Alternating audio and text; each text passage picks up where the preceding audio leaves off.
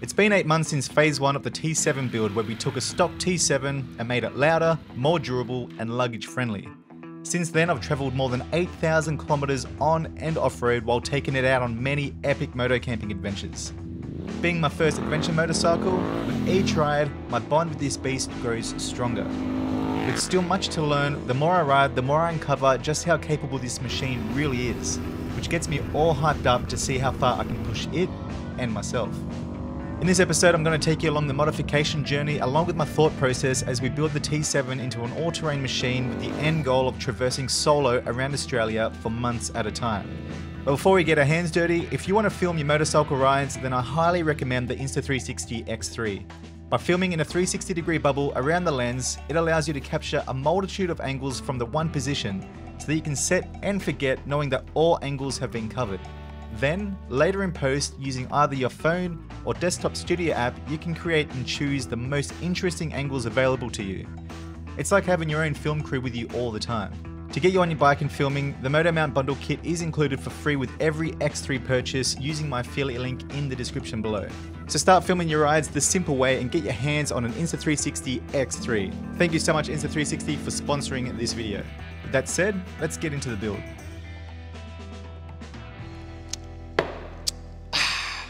Alrighty, it is time for phase two of the T7 build. So today's mission is to wire up this little guy. It's a USB-A, USB-C, USB port, and it's also a voltmeter as well. It lights up blue in the middle there and tells you your voltage, which would be pretty handy. That's gonna be going right there. But to do that, this whole front end has to come off. so it's a bit of a mofo. I don't want to have this open all the time. Dust will get in there. It'll end up screwing everything up. I'd like to have that cover on most of the time and then use this just for, you know, emergency charging situations.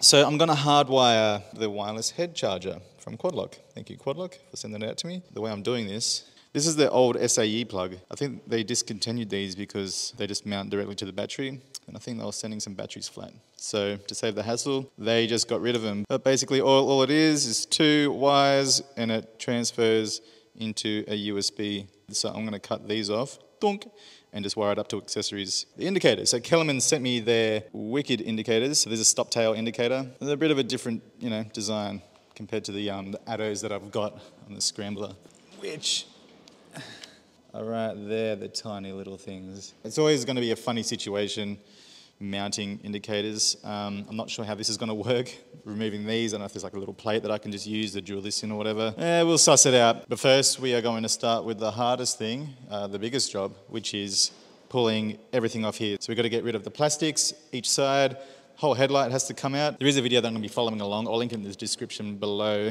Everything comes out and it's literally, you're just left with the frame. Mofo of a job. These SRC upper crash bars can stay on though. Apparently you don't need to remove the crash bars to remove the plastics, which is wicked. So, so handy. There it is. It looks pretty daunting, hey? It was actually not that bad. It was pretty good. It was pretty easy to pull it all apart. Very accessible. All these screws, all these guys, Super accessible, very easy. Shout out to Orb Surfer. So I was just following this guy's tutorial. I'll link him in the description below as well. So now here is the hole under here. Boop. So I just got to file that out a little bit. And then the auxiliary accessories, that's the plug there. So there's positive and negative ready to go. I'm pretty sure that's fused as well. So I'll wire, wire this up to that. I'll wire the quad lock up to that as well. I'm not going to be using them both at the same time, so we won't overload the circuit or anything.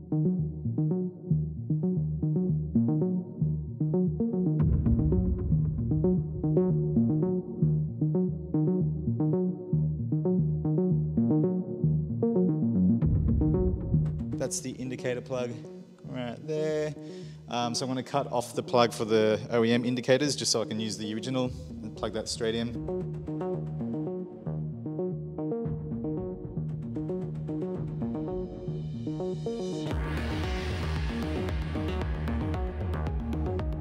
B&B Off-Road Engineering, thanks again guys. They sent me out the little underboy. The OG one that they sent out to me before suits the OEM indicators. Pull the old ones out, put the new ones in, and they fit absolutely perfect. And I hit them up just asking if they had something without them. I have this one, so you can put the indicators there, but those holes are too big for my indicators. So again, it's gonna be another, another something, another something to do.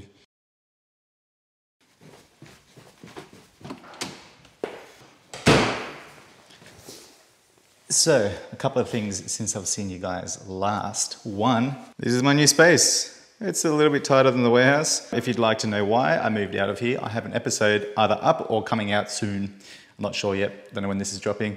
But yeah, this is the new garage space. I haven't finished, I'm still setting up, it's just been chaotic. But, anyways, the other thing I wanted to show you guys was my new tires. I've gone for the Shinko 804, 805s, exactly the same as the old Scrambler. I like them, I really like them. I can go corner to peg to peg on the Scrambler, obviously not on this because they're so damn high. And there's the old Pirelli Rally STRs. There's nothing wrong with these. They've still got enough, they've still got a bit of tread on them.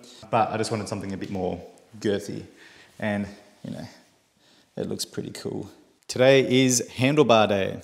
Very pumped. Renthal sent me at their fat bar. Nice and strong, very, very sexy, very nice indeed.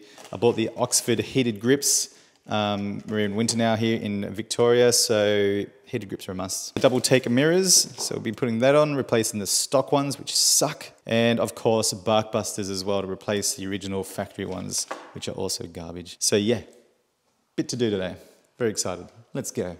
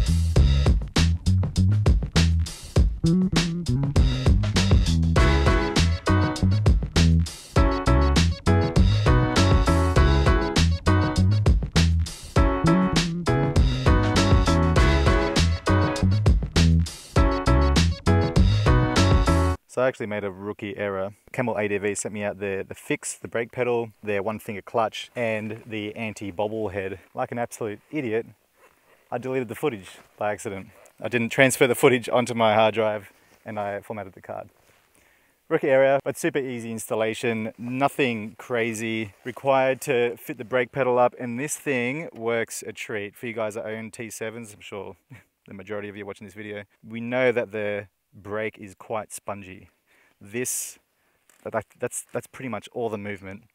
And you can just pretty much put your big toe on there and really just feel it out a little bit, change all your adjustments there as well to make it a little bit more stiffer or softer. Absolutely game changer. And it's nice that it's all tucked in and away. I already fell off a few times and I had already started to, started to bend the original lever. So this thing's nice and strong. And the instruction videos for the installation, so good. Everything's nice and detailed. It took no time to fit it up. Same as the one finger clutch. That's pretty much it just there. Not a big job either. Just make some adjustments. You start off in the middle hole there. If you want to make it a bit harder, you put it into that one. If you want to make it a bit lighter, you put it into the one back there. But the middle, the middle guy seems the way to go for me for the moment. And it actually makes the friction point, it makes the zone a little bit longer, a little bit wider. So you have a little bit more control over, over your friction point as well. It's not so jerky or twitchy the anti-bobblehead works a damn treat. As we know, these, if you have like a GPS unit mounted up this like mine, yeah, you know it wobbles around quite a bit when you're off-road and everything. This stiffens everything up, braces everything up nicely, and it also stops the headlight from jiggling around so much. Again, super easy installation. They've done they've done an incredible job. So thank you so much Camel ADV for sending these out to me. And as for the rest of it, you might notice the bash plate, I changed the color of it. I didn't really like the whole sticker thing going on, so I just got it powder coated black. This is how the indicators turned out, which I'm pretty happy with. I didn't really, I didn't do anything really. I just took the, the cover off. I don't care about those little holes and stuff like that. But I think the shape of them, I think they turned out really nice and they're super bright when they're on as well. And this is the back. I actually use the uh, indicator holes to run the wire through. And this is all just sort of sitting there, there's no brackets or anything. It just came out really nicely some tubing as well just to protect it all from rubbing on the metal surfaces. And then I just found these little brackets. mounted them up, sprayed them, uh, spray painted them black. I think they look they look pretty good as well. They sit the style a lot of the bike, which I really like. The Lone Rider foot pegs I really dig. I have a set of springs, some universal springs coming. I've dropped this a few times and you can see what happens without the springs in them. There's that little bit of a bit of a flat spot there. But the surface area on the pegs as well, it's just a nice platform. You feel really nice and stable and it doesn't hurt your foot or anything. And they do twist and you can adjust that that pivot tension, which is really cool. The Shinko 803 and 805s, I love these tires. I love the look of them. I think they're really nice and aggressive. These do still perform really well on the road, and I feel like they do prefer, perform much better than the, um, stock STRs, the Pirelli Rally STRs. I'll be doing a sand training course in a couple of weeks' time with these bad boys, so I'm curious to see how they're gonna go. But you can still hammer it on the corners. Uh, in the wet, I wouldn't go so hard. They're probably a bit worse in the wet than the um, STRs, but overall, great tyre. I think they look fantastic as well. They set the bike off, make it look a bit more aggressive,